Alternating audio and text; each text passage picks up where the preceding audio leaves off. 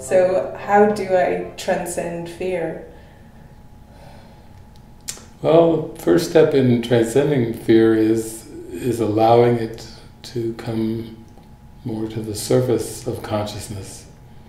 Because once you begin to look at the split mind, you can see that that not only has this divine love, this glorious love been pushed out of awareness, but but even the the fear and the hatred has been pushed out of awareness.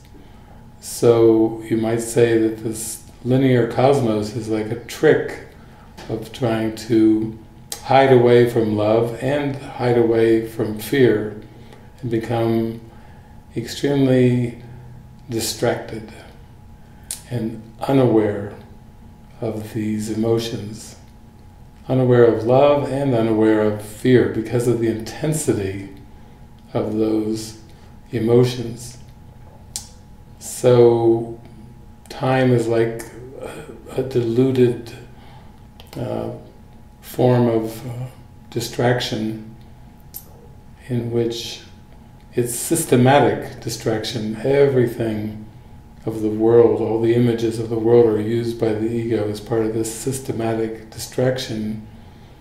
And when you want to transcend fear, you basically are praying a prayer in your heart and saying, let me bring an end to the distraction. Let me see things exactly as they are.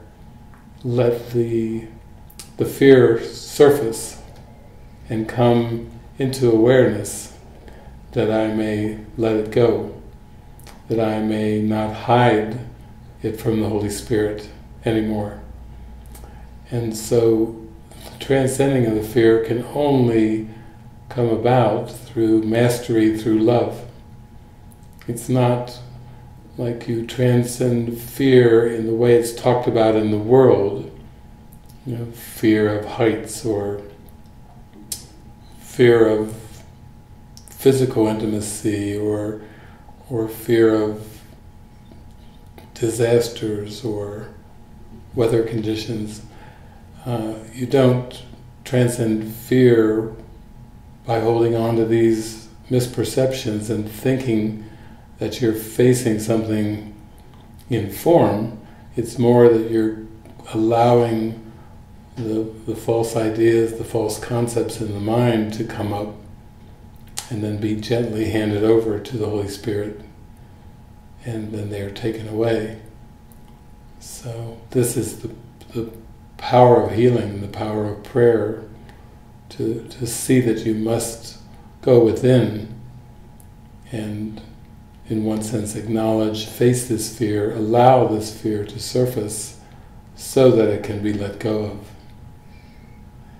So is one of the functions of this story to support the looking of that fear?